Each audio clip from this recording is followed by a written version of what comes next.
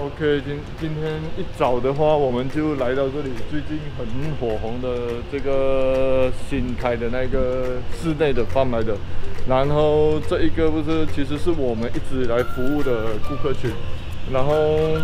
简单来讲，就是大部分我看到就是讲说，来这里看的人都会觉得说，哎，坐在室内其实是一个不简单的事情来的。我现在就带大家绕下看看，然后讲说。其实这一个是我们服务的其中一个集团来的，然后他们在设定的这个东西有这个概念，要把这些配定住做在室内里面，其实是有很大的挑战性的。这个是我自身，我们本身做这个行业，自己我们内幕的东西，我们了解是，如果你把这些配定住的东西呢，做在室外的话呢。其实那些太阳啊、风啊、温度啊这些你都不需要去理，因为大自然会提供嘛。因为你是室外，当他们坐在里面的时候，其实对他们的挑战是有一定的程度的。就像这样子，你看他们的通风口，然后他们也需要装一些模拟太阳的那些 UV 灯，还有就是要要确确保这些动物的那一些食物啊、水呀、粪便啊、味道啊是可以完全隔离的。如果你是做室内的话，这个东西是非常讲技术的。然后我现在讲的是比较我们内行人了解的东西，就像这种，他们需要保温啊、水啊、环境啊、饲养，他们全部都要做到人工，所以它的成本是比这种室外是高非常多的。然后技术性也是很高的，就像还要模拟这种，它这一类型的，就是讲说。他们需要一个水池啊，还有这种沙出面的地方，这些都是要用真实的沙石头去 set up 起来的。然后我要另外一个就是这一个，你们可以看到很多室内的、室外的 bedding 路做 recon 的话，他们可以用一些。呃，笼子啊，然后一些有一些树给他们爬，像这种室内的话，他们必须要找真实的树来给他们做装饰品，然后包括这些石头啊，他们都是要用 solid 的，它不能够用那些 foam，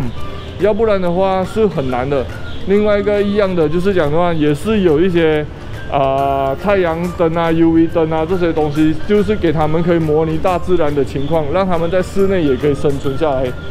然后这个也是其中一个 market，另外一个就是要做一个 bedding 住啊，在室内的话，你是要符合非常多条件的，然后要经过我们很多政府部门的审核，然后包括这些玻璃的厚度，还有就是讲说整个环境的 set up 适不适合，还有空间要多少，全部都很重视。然后这一个也是他们的 big go，看得到吗？一样的，每一个他们的通风啊。温度啊，温控啊，全部都要做得很好，所以这个是做室内非常巨大的挑战性啊。看到。然后他们这里呢是轮班制的，差不多每一个时间点都有人在照顾着他们，所以就算你们在睡觉晚上的时候，他们也必须要有人在照顾得到这些活体，所以这个挑战是蛮新然后蛮大胆的一个尝试，我觉得应该要学一学这类型的东西，然后。可以了解，就是讲说怎样子，就是我们可以用科学的方法来好好的养殖它们。然后这个是你们看得到的前面嘛，后面的话他们还需要房间、挂人钉啊，然后这些喂食啦、睡觉啦这些东西，就是非常的细，这些细节都需要照顾得非常好。如果是室外的话，你可能会嗅到味道，还是他们会换去另外的笼子。像在这里的话，你就真的是需要，呃，人和宠物都隔离得很好。然后他们因为做的都是用玻璃，所以互动也非常安全。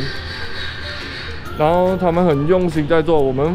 大概这一个工程，我们也拿了蛮长的时间才完成的。然后这个是 Mango。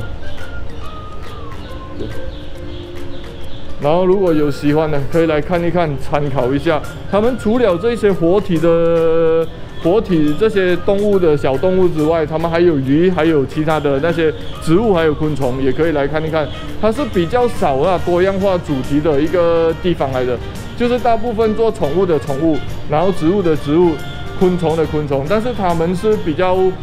多样化的，然后聚集在这个室内，然后也可以说。下雨天的时候，然后你可以在室内不需要淋到雨，